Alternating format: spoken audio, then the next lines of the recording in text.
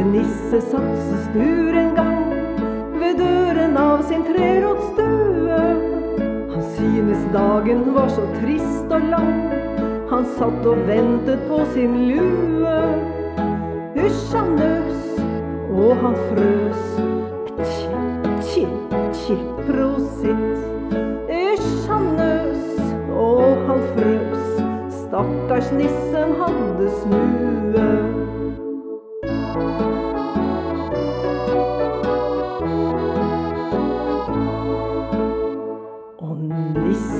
Hun sa, og hva står på?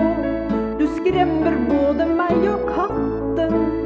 Til doktor Muldvarp må du fluksens gå, så vi kan få litt ro til natten. Gjør det fint, nissen min. Tje, tje, tje, prosit. Gjør det fint, nissen min, og ta på deg søndagshatten.